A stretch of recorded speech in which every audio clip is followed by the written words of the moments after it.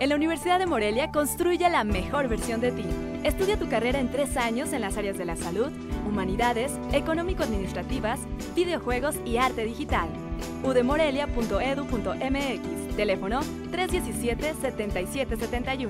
Este jueves el Congreso local aprobó un acuerdo mediante el cual se exhorta al Poder Ejecutivo de Michoacán a que cumpla las minutas pactadas con el telebachillerato que establecen respeto al mapa curricular y evitar que el Poder Legislativo sea rehén de grupos. La posibilidad de pedirle al gobernador desde esta tribuna que atienda los problemas no solamente de los telebachilleratos, sino de las organizaciones sociales y los movimientos estudiantiles como magisteriales, para que este Congreso no sea rehén.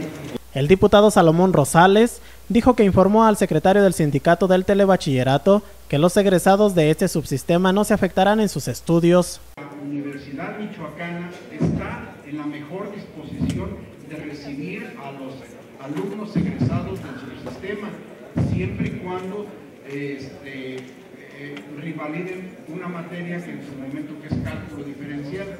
Los diputados se dijeron dispuestos a coadyuvar para que el Estado avance, solo que el gobernador no ha dado su anuencia. No escucha el Congreso. Jesús Reina sigue caminando pensando que fue electo porque, perdón, designado porque nos caía bien a los diputados, que no se Mediante el exhorto, los diputados confiaron en que se le atienda la problemática y los grupos sociales no lleguen a donde no les corresponde, es decir, a la sede del Poder Legislativo. Para Cuasar TV, Miguel Ángel Sánchez.